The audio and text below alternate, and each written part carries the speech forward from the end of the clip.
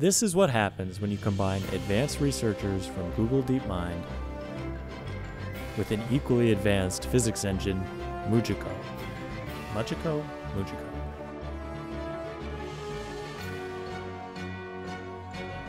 We're going to look at three papers today that explain everything you're seeing right now.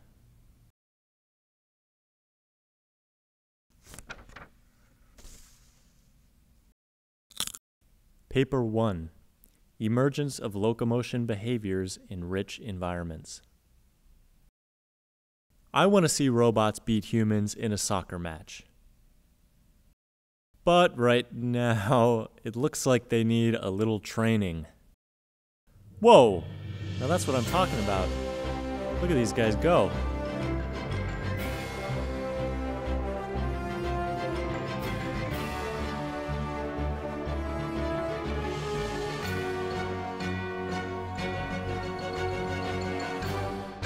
No, hold on a second. Before we get too excited, damn. I bet the authors had to hand engineer multiple reward functions for each of these behaviors for jumping, dodging, or turning. That's like a lot of work. Well, I guess if we want to understand this, we should dive into all these different reward functions and, uh, what? That's all there is? Go right? That's all they tell the agent as it's learning? Going right is good?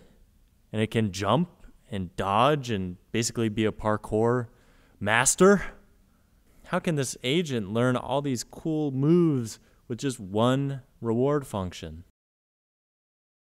Well, from the paper, it appears the secret is the environment.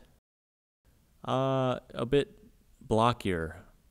Okay, closer, closer, just lose the textures. Okay, yeah, that's that's the environment they used. Using procedurally generated environments that get more difficult in time, like the hurdles get higher and the gaps get wider, the agent learns all these moves themselves. This type of increasing difficulty is known as curriculum learning. You have to know your ABCs before you can read. The random or procedural nature of the environment also gives the agent a lot of variety. That means its policy isn't going to overfit to a specific behavior, which would then fail poorly on an unseen environment.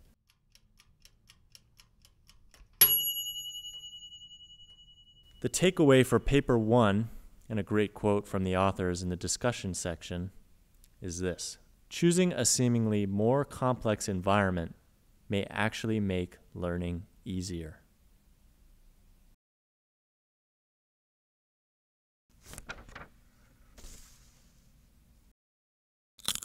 Paper 2 Learning Human Behaviors from Motion Capture by Adversarial Imitation.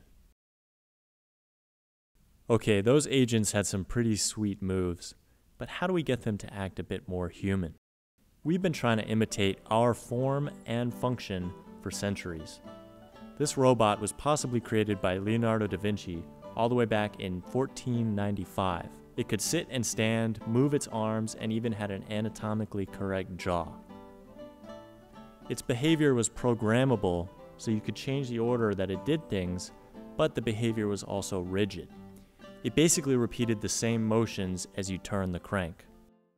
We have much more complex robots now, mostly simulations of robots, and it was the task of the authors of Paper 2 to impart those robots with more human like motions. Reinforcement learning allowed them to get the agents moving but sometimes they move like this.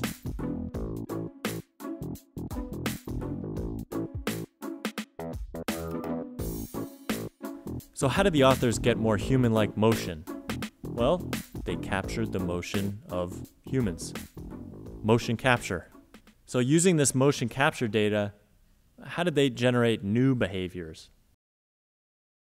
Uh, generate machine learning, neural networks, uh, generative, generative, uh, generative adversarial networks, of course. A discriminator network tries to classify movements as coming from mocap or from a different network imitating the mocap data. The only way the imitation network can fool the discriminator is by making more and more human like behaviors. Why did they choose generative networks for this? Well, before they would have had to come up with some sort of similarity metric between the generated motions and the human mocap data. But with generative adversarial networks, that becomes the discriminator's job. Yay, automation! You can do it.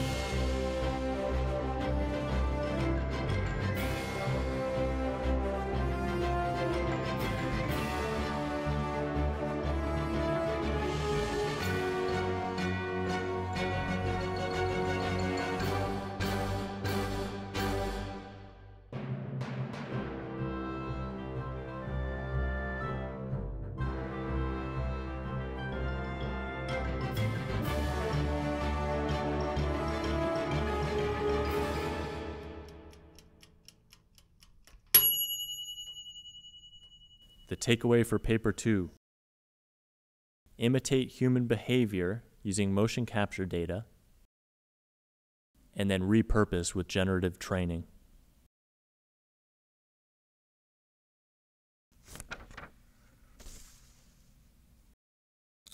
Paper 3 Robust Imitation of Diverse Behaviors. Okay, this is our final bite. Let's get a bit more robust. Here's an agent trained with just a generative model. He's moving all right, but he suffers from something called mode collapse. So that means he's lacking in a diversity of behaviors. So, how do the authors of Paper 3 fix this fault of generative networks? Well, they did a bit of comparison. And if you look at the trade offs for supervised methods and generative methods, you can see that the strengths and weaknesses alternate. Generative techniques produce robust policies but have undiverse behaviors.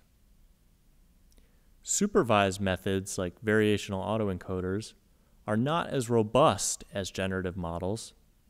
They can fail when the agent state diverges from the training data too much, but they learn diverse behaviors.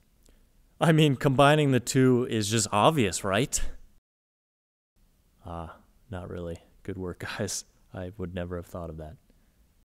Here are some results from the plentiful supplemental video provided by the generous authors of Paper 3. This simulation of a robotic arm, which is actually simulating a real life robotic arm developed by Kinova Robotics, shows a great ability to imitate training data and test data, and can also be transitioned from one behavior to another with the output in the arm being semantically meaningful. And here's a humanoid simulation with many more degrees of freedom, so much more things can go wrong, but you can see that the imitations are really spot on.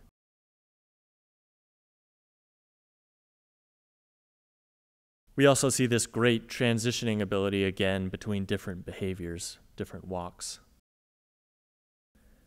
And using the supervised part of their technique, they can generate new behaviors from single observations.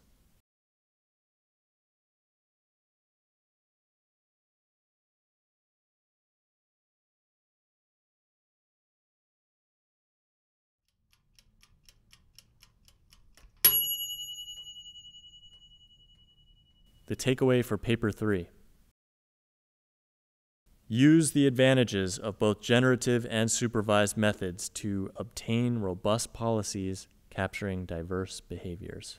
Robust policies and diverse behaviors.